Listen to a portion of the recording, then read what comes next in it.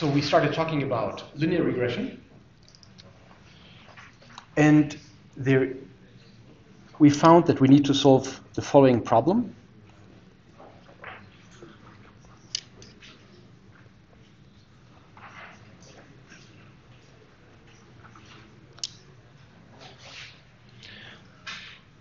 By the way, to, the way to solve this thing is not really by inverting this matrix, it's not by finding the inverse matrix. So we do not do x, x transpose to the minus 1, x, y transpose. But instead, it's uh, numerically better behaved and usually a, a bit faster uh, to directly solve this for beta.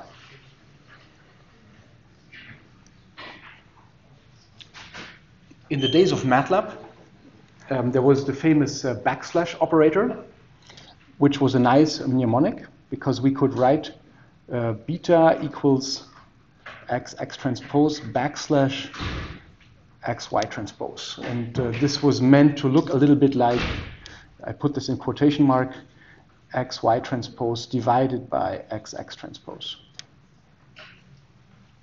Now in Python, we don't have the backslash operator, but we have what linalg solve or something, and this is what you want to use uh, to solve this equation here.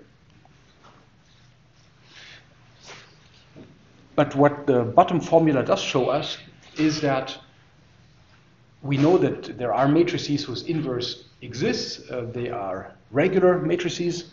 We know there are matrices whose inverse does not exist, irregular matrices. And there are matrices whose inverse nearly does not exist. Uh, and those are the ones of interest to us here. Uh, so this matrix XX transpose, uh, oftentimes it's not well conditioned. And this is not an exotic problem. This is a real problem that you face when you, when you work with data, which is why we're talking about here.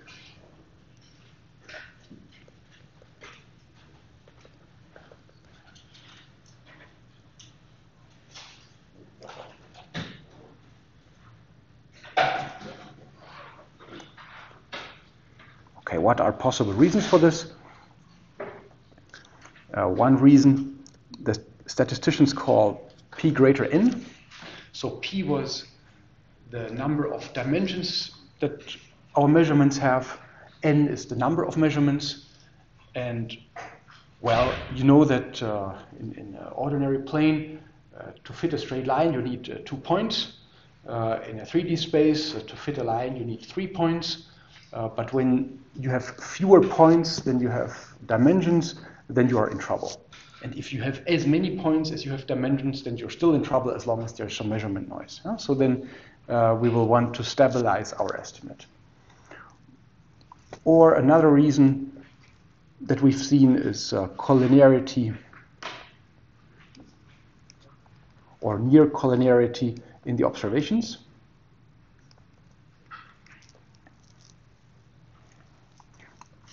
So we had these, uh, we stared at these plots for a long time last week of uh, where this was x1 and this was x2, and points here were nearly on a straight line, and we were arguing that we can estimate the slope in one direction well, but in the other direction. Uh, so along this line, uh, we can estimate along this line we can estimate the slope well, but orthogonal to it we cannot estimate uh, the slope very reliably. And if we think about what this does to the system of equations, um, then let me sketch that as follows. Uh, so uh,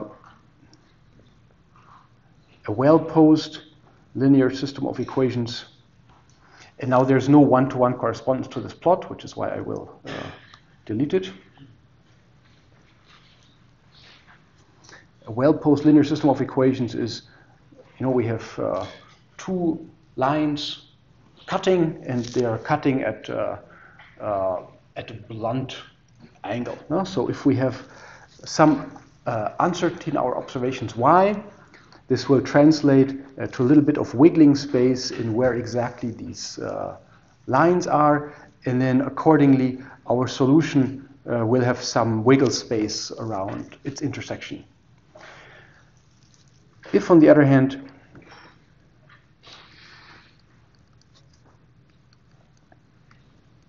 our lines are like this. So the first one I leave as is, but the second one I now shift. Okay, you see currently they intersect here, but if we wiggle a little bit on these lines, then the solution can move a long way. And in this particular case, you would see that uh, as I can change the slopes or the offsets of these lines a little bit, um, my solution can change a lot in the green direction. Uh, it can change a lot in the green direction, uh, but it will not change so much in the blue direction.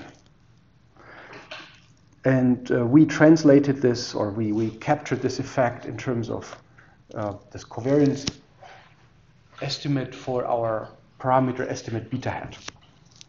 So I'm just giving you a different picture here to describe this problem of uh, having an ill-posed linear system of equations.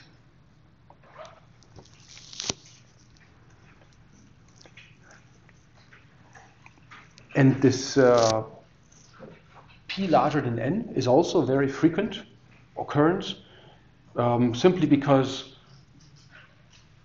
if we think of, for example, uh, medical domain uh, where we can have gene expression patterns, sometimes patients are hard to find. Yeah? So there is a new exotic disease, and luckily we don't have too many patients, just 10 who have it, um, or uh, a rare hereditary, you know, uh, disease. But we have uh, tens of thousands of uh, expression levels of, of, various genes. And uh, in that case, P is much, much bigger than N. But we're still interested in analyzing this data. Or last week, I mentioned this spectral data. We have hundreds or thousands of spectral channels, but we might not have that many samples. So there also, uh, P can be larger than N or, or not large enough to get a reliable estimate. So we need to do something about it.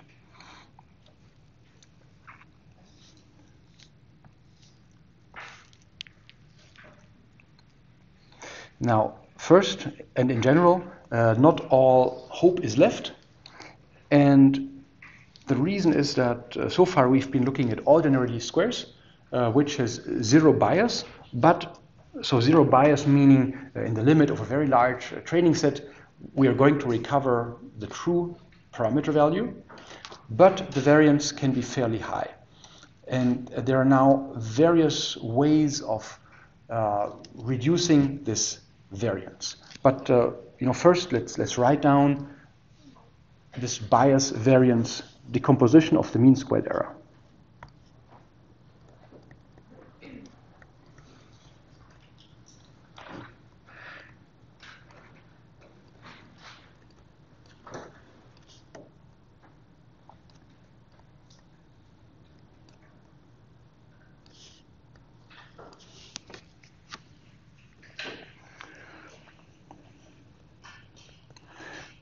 So we're looking at um, the expectation of our parameter estimate, theta hat,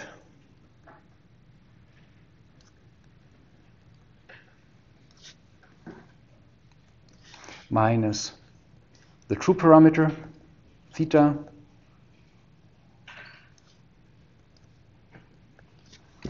uh, we're taking this difference squared.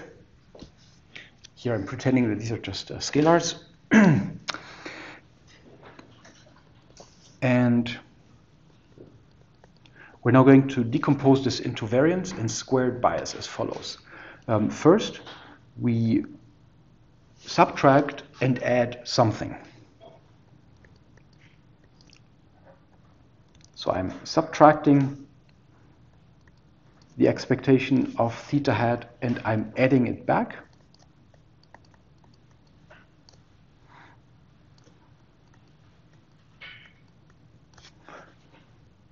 So overall, I've done nothing, yeah, because I've subtracted and added the same thing.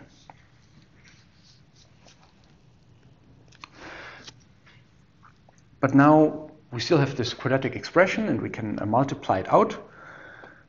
And so we uh, get the first half of the equation squared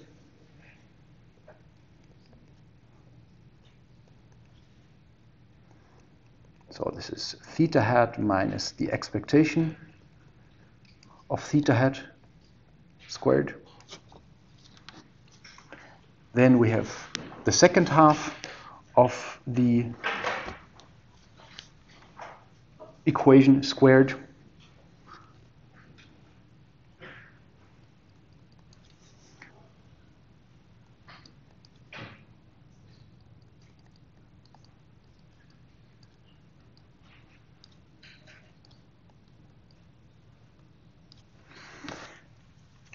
And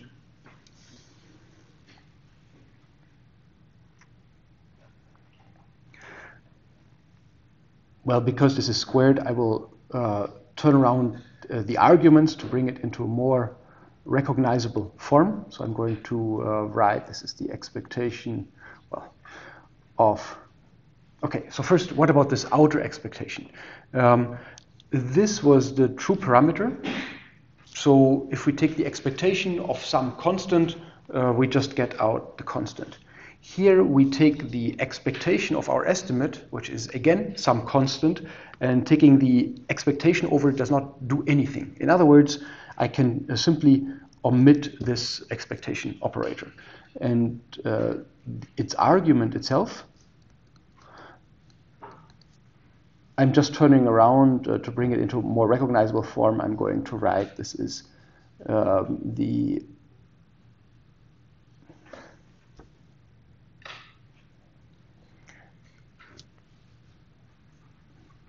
no, it's fine. It's, I, I, leave as is. So um, the thing inside the expectation operator, this expectation of theta hat minus theta, um, this has a name in statistics. This is the bias. Uh, this tells us um, how far in expectation our parameter estimate will deviate from the true parameter value. So if this is the bias, then the thing above, well, it's the squared bias.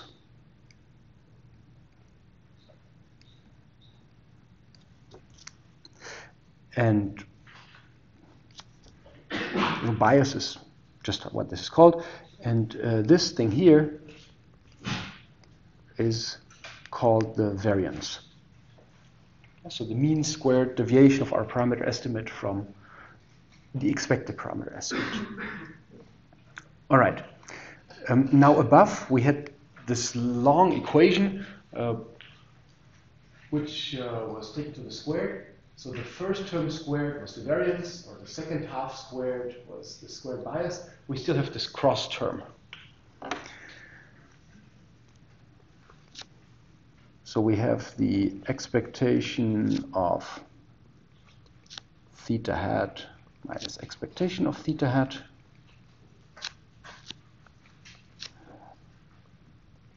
times expectation of theta hat minus theta.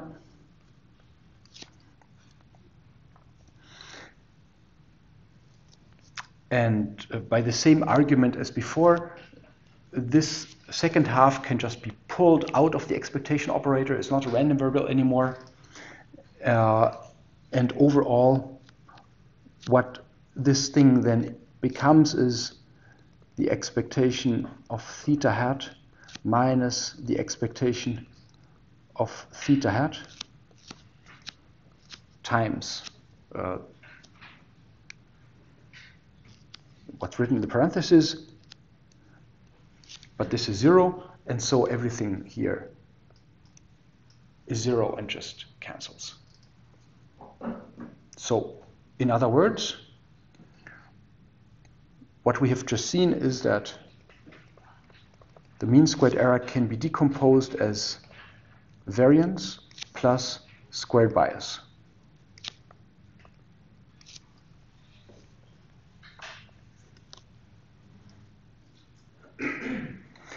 Now this was a you know completely generic, um, and in itself does not say yet uh, you know why it would why it could help to now start increasing the bias. But what we find empirically is the following.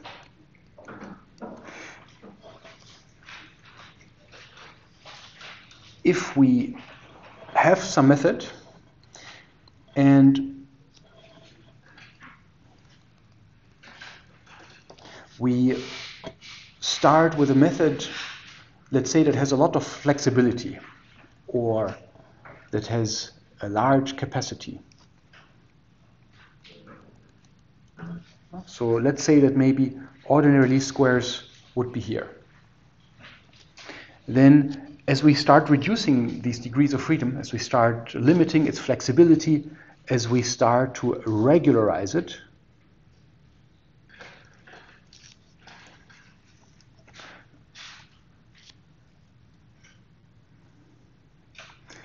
then what will happen?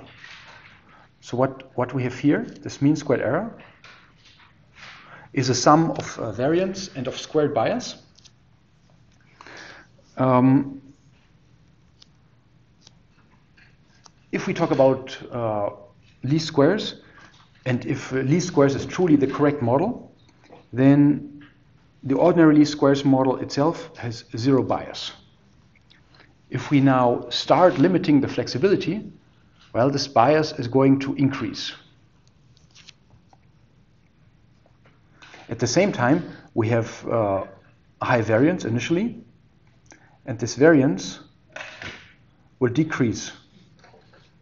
So I should use different colors maybe. Um, let's say I try to make this green. This would be the bias. Uh, I try to make uh, this blue. This would be the variance. Or I should write squared bias.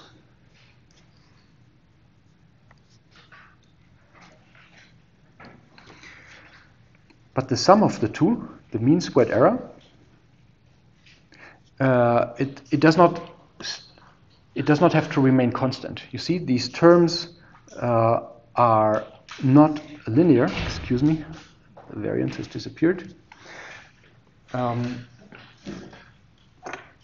both curves are not necessarily linear if we plot them as a function of uh, reducing flexibility and hence the mean squared error usually goes through some minimum and then is determined.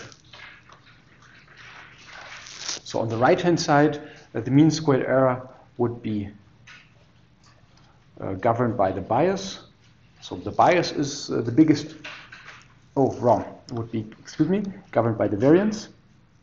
Sorry. Uh, here the variance makes the biggest contribution, and on the other hand, over here, mean squared error would be governed by the bias.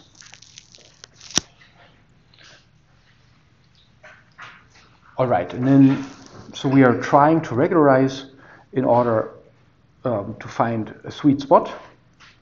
Usually, the, the sweet spot is not the very minimum of this uh, uh, of this curve, but usually uh, we try and be a little bit more conservative. Yeah? So we say, okay, let's simplify the model a little bit more, uh, as long as our yeah, error does not seem to increase too much. Um, so this would be an appropriate amount of regularization here. Well, how do we how do we find it? Typically by cross, by cross validation.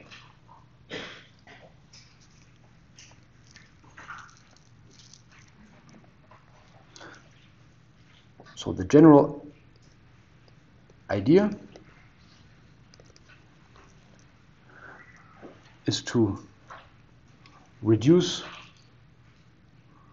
the variance by limiting the flexibility of the model.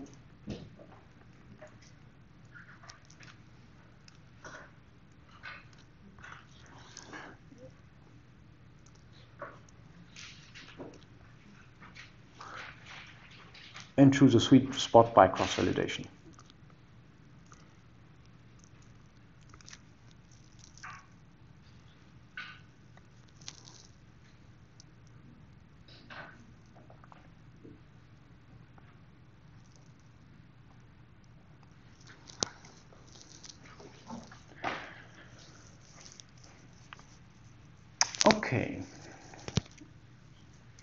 Now,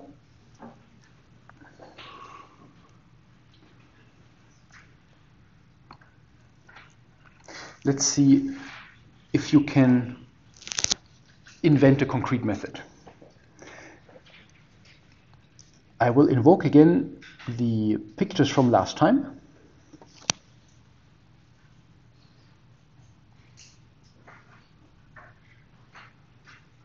Good.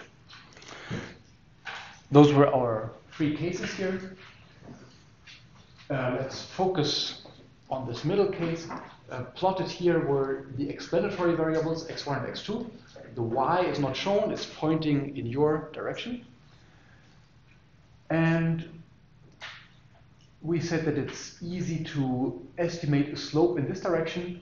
It's hard to estimate a slope in the, or not going to be very stable, to estimate a slope in the orthogonal direction.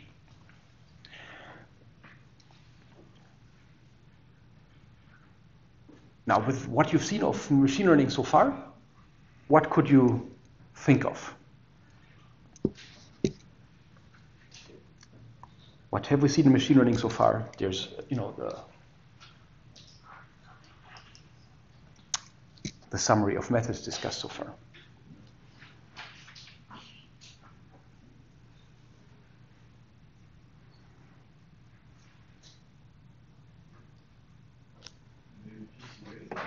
PCA sounds good. Because in PCA we had we made the same plot essentially. Yeah? We said uh, let's find the best subspace, and this is something we can do. Um, we can use PCA to.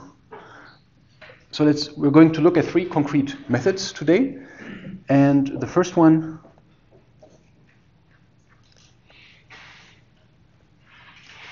Concrete methods in the case of linear regression. And the first one is principal component. What is this called? What's the proper name? Uh, I have it somewhere. I think it's principal component regression. Yeah, PCR, great. So you have just invented principal component regression.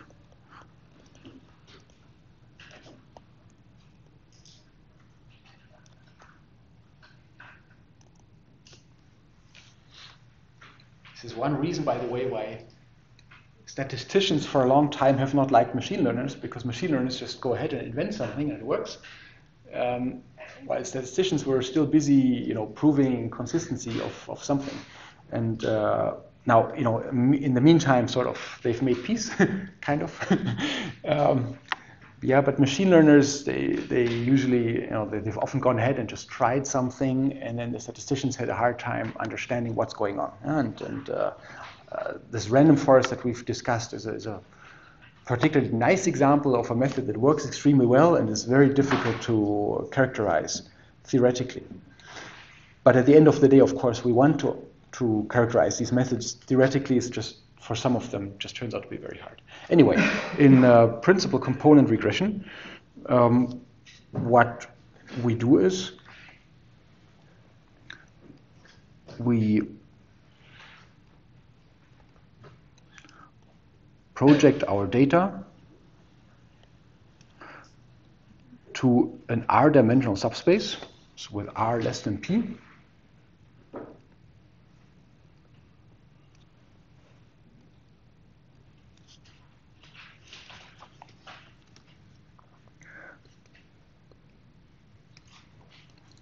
and then do ordinary least squares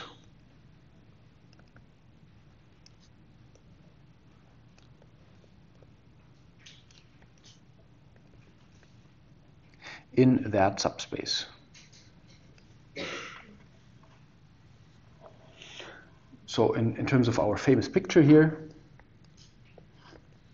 x1, x2, some correlated observations. Well, we first find, in this case, the one-dimensional subspace. We uh, project our data, or we approximate our data by its coordinates in the one-dimensional subspace. Yeah, so all observations are projected into that subspace. And well, now I can make a new plot Uh, now I can make a new plot where this axis here is called principal component 1, and my other axis is called y. So far we did not have y in the plot at all. And, well, I, I don't know what. Uh, I have to invent some y's now. Uh, the y's were not shown in the previous plot. And then I do a linear regression in that plot. And well, then I have a model in that subspace. And when I now get new observations, I have to again project them into that subspace, apply the model in that subspace, and so on.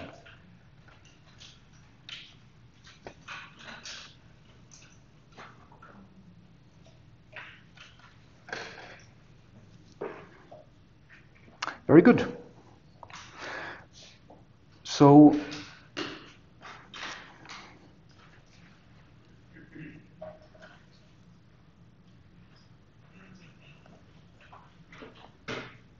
One way to look at principal component regression is as follows. We can look at the eigenvalues of XX transpose, the scree plot that we were discussing in PCA, and we usually find some exponential decay, you know, something like this with as many eigenvalues as we have uh, dimensions here. And if, for example, we project just to, uh, so if, for example, we make r equals 2, then we keep those and we, we kill the rest. We set the rest to 0. Or we ignore them completely. Now, by the way, um, why are these small eigenvalues a problem? Because we are computing x, x transpose to the minus 1. Uh, so if x, x transpose was a diagonal matrix, then x, x transpose minus 1 would also be a diagonal matrix where we have in each entry um, the inverse of the eigenvalue. So in other words, it's the tiny eigenvalues that are the problem, because if we say 1 divided by some tiny number, we get something crazy large. Yeah, so these are, this gives us the crazy large slopes along our ill-defined directions. Now there's another idea to stabilize this taking of the inverse, um, namely to just add a constant to all of these eigenvalues. Yeah, so this brings us to method number two, which is called ridge regression.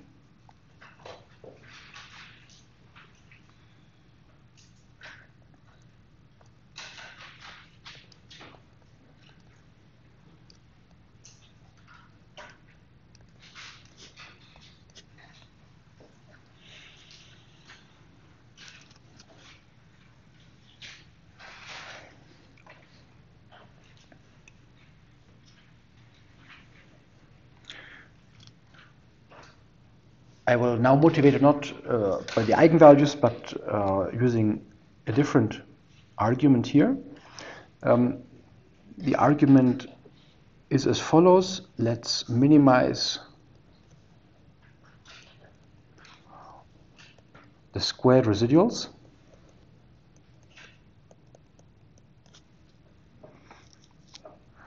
So this would be ordinary squares.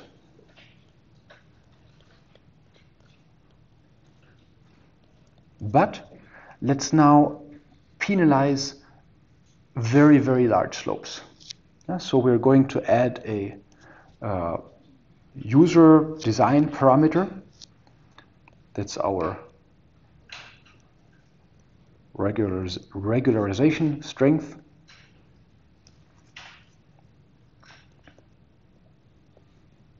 And we're going to penalize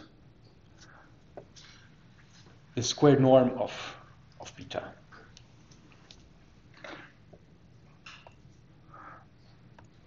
So in, in other words, what we have here is um, we, we bias our solution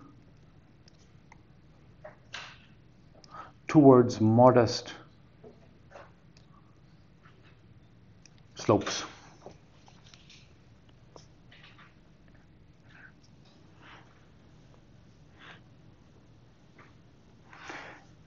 Then we can, well, luckily we can still, still solve this in a closed form. And this is why this was uh, developed fairly early on, so 1970, maybe earlier. But at least, uh, you know, it was formally discussed in the statistics communities uh, starting in the 1970s. And so we're going to uh, differentiate this thing here with respect to beta. And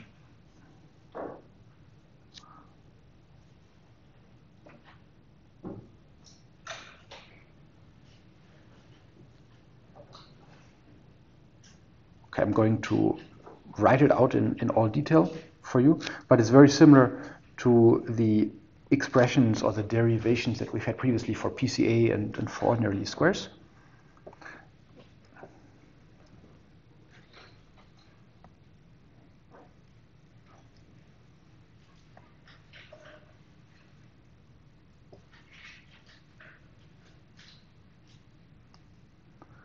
All right.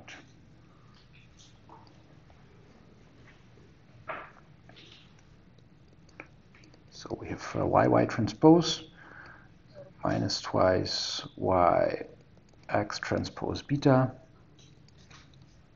plus beta transpose x x transpose beta plus this regularizer.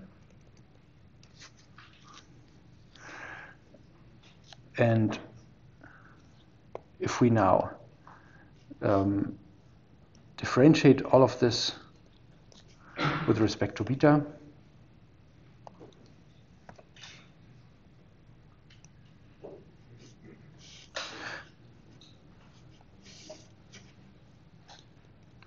we get is the first term is independent of beta, beta and then we get minus twice y x transpose using this numerator convention plus twice beta transpose x x transpose plus twice lambda beta transpose. And we want to set this to zero. And then we can uh, divide by 2 and say this is beta transpose times x x transpose plus lambda times the identity matrix.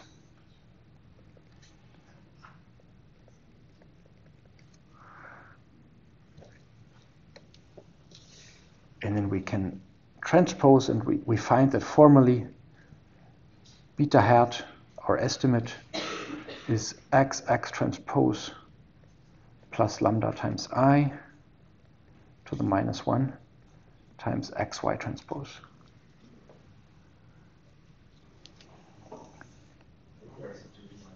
Excuse me? There's a 2 too much, thank you. All right, and if we compare this to the ordinary least squares thing, then it still has very much the same form, except that we now have this term from the ridge regularization.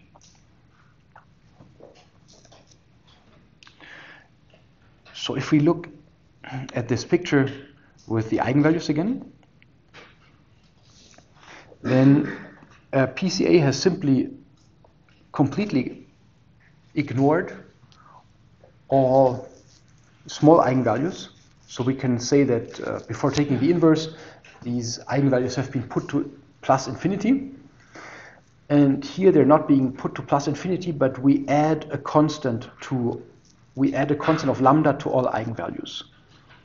So if I try to uh, make a plot similar to, to the one above, then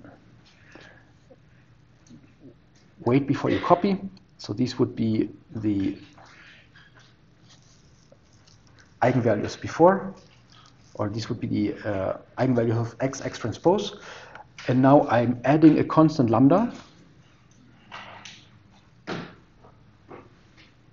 to all of them.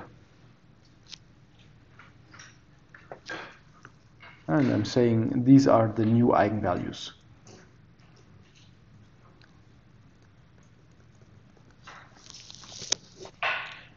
I have uh, hence I have hence uh, stabilized this operation of taking the inverse.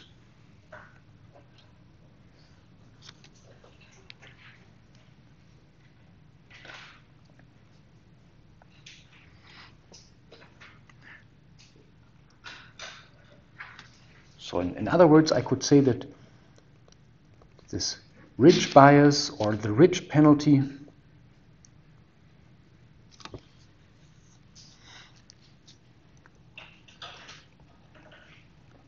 it artificially inflates the covariance matrix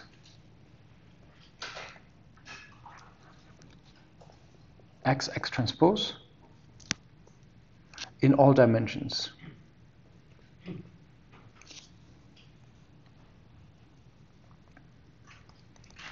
That is, it spreads out the data along all dimensions.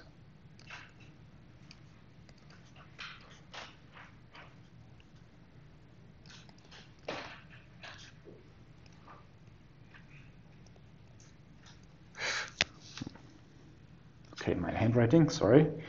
I'm reading this. Ridge penalty artificially inflates the covariance matrix X, X transpose in all dimensions. That is, it spreads out the data in all dimensions.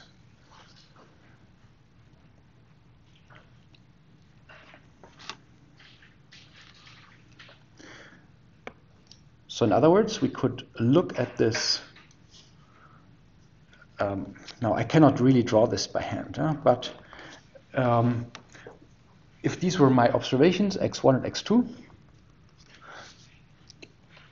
it is as if we had pulled the data a little bit apart in all dimensions. So we would have pulled it a little bit apart along the line along which data lies, but we would also have pulled it a little bit apart uh, in the orthogonal direction. And uh, well, that of course leads to a lowering of the slope. So I, I, can show it to you what happens, you know, in, in a one-dimensional example. So here I just have x and y. Um, I have two observations which are close by, and I get this slope. Now I pull my data a little bit apart. Uh, so I'm saying the left observation goes here, and the right observation goes there, and I'm getting a new estimate, which is of course much flatter. Uh, that would be the, the ridge estimate in one dimension for some value of lambda. And the same happens in higher dimensions.